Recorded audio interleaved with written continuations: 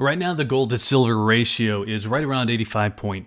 That means it would take 85 and a half ounces of silver to buy one ounce of gold. If we want to see what that looks like, these US mint tubes hold 20 American silver eagles. This is a 10 ounce RCM bar, and here are another 10 random silver coins and rounds. This five ounce Napoleon Commander coin, that puts the stack here at 85 ounces. But to be specific, let's add this Athenian owl. It's another 17 grams of pure silver, why not? So just going off the metal value, this stack of silver would be worth one ounce of gold. There are people out there who advise buying silver specifically to trade it to gold at a time when the ratio comes down, but the purchase cost on the silver on this desk, completely disregarding the Athenian owl, is well over 20% more than the gold. So to make that a viable strategy, the ratio would have to come down to around 65 to 1, something that's only happened a few times in the past 10 years. So it's one of those games where the house typically wins.